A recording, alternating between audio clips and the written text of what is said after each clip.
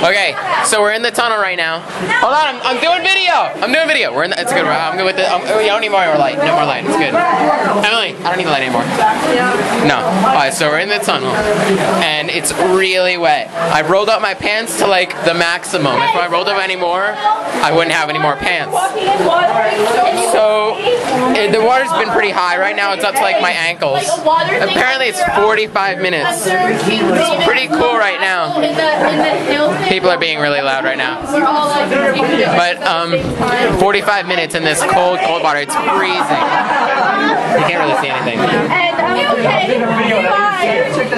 Alright, so hold on a sec. I'll get a picture in a second.